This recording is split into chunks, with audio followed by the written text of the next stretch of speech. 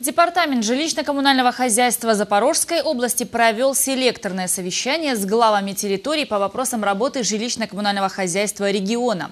Во время обсуждений говорили о неплательщиках, а также решали проблемы экономии газа. Подробности в следующем сюжете.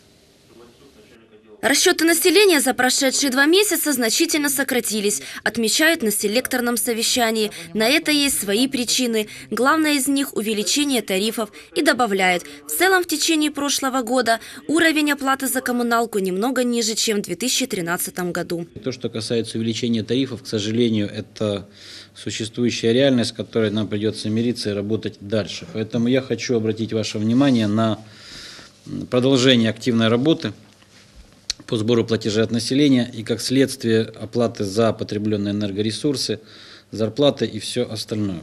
Среди должников прежде всего выделяют Бердянский, Вольнянский, Запорожский и Каменка-Днепровские районы, а также Бердянск и Токмак. Что касается перерасхода газа, на первом месте Запорожье. Одни из последних – Днепрорудная и Мелитополь. С каждым днем растет и долг по оплате электроэнергии. Составляет на сегодняшний день более 50 миллионов гривен.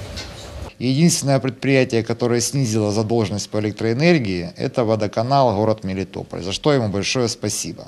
Учитывая такие плохие показания в целом, в Украине, в частности в Запорожской области, планируют уменьшить потребление газа при производстве тепла на 50% или более чем на 4 миллиарда кубометров. Что касается оплаты за ЖКХ, районы отчитались перед областью. За счет экономии надеются выйти на должный уровень.